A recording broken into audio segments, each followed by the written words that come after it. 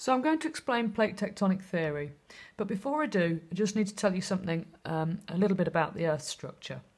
The Earth is like a boiled egg, and if you imagine taking a slice through the boiled egg, we would have in the middle, we would have the yolk.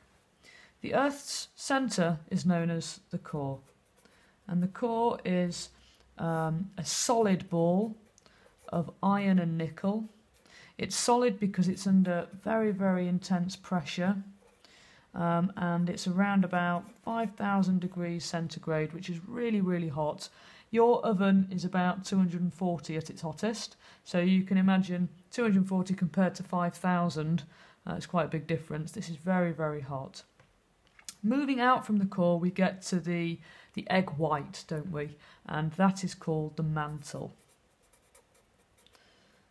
The mantle is where you find magma which is semi-molten. That means it's um, part liquid, part solid. It's liquid rock, in other words.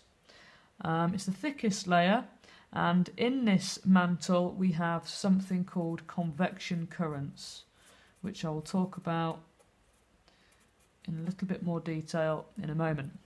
And then finally we get to the outer layer, which is the thinnest layer, known as the crust. And the crust is very brittle. Just like the eggshell. The eggshell is very brittle and proportionally an eggshell on the egg is about the same proportion as the Earth's crust on the Earth. It's brittle and it's broken and it's broken into pieces. And that's really what starts plate tectonic theory because those pieces are known as, um, as no, are known as tectonic plates. So um, for example, let's break this into a few pieces. Okay, so the crust is broken into a few segments. Plate tectonic theory is that these pieces are floating on the Earth's mantle and they are moving. And they move because of convection currents in the mantle. So coming back to this term here.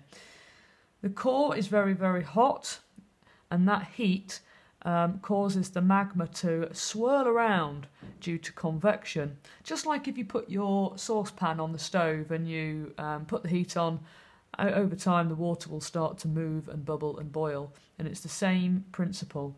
So uh, we get convection currents rising up, and when they hit the crust, they move sideways and then sink back down to the core and that makes a convection cell.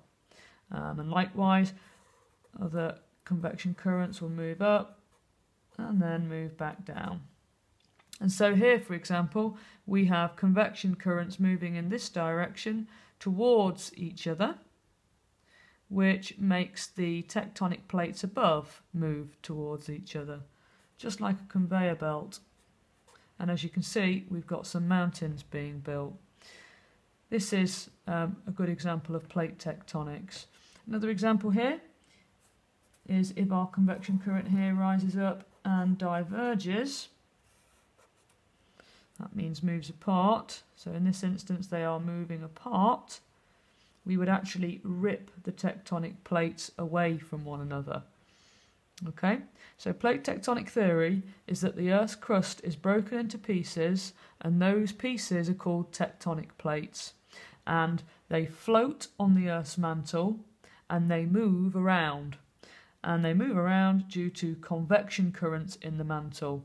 And where the convection currents come together, the plates move together. Where the convection currents move apart, the plates move apart. And that's plate tectonic theory. So if we look at that in terms of the world now, um, just here I have just here I have um, drawn on the plate boundaries. And as you can see using this diagram some of these pieces of plate are moving apart. And that's the boundary going down the middle of the Atlantic Ocean there. So the African plate here is moving away from the South American ripping apart. The Eurasian plate so called because it's part of Europe and Asia, so Eurasia. The Eurasian, Eurasian plate is moving away from the North American plate. Again, it's ripping apart. Um, and other examples are where the plates come together. just here. We've got South America moving into um, part of the Pacific Ocean here. this is known as the Nazca Plate. And same up here, we have Japan, um, which you know experiences a lot of tectonic activity. And we've got the Eurasian Plate moving into the Pacific Plate there. So, as you can see, these pieces of crust, these large segments of crust, are moving around on the Earth. Um, they're either moving together, which we call a destructive plate margin, or they're moving apart, which we call a constructive plate margin, or finally, as you can see here, they are moving side by side, which we call a conservative plate margin. And that's really the theory of plate tectonics.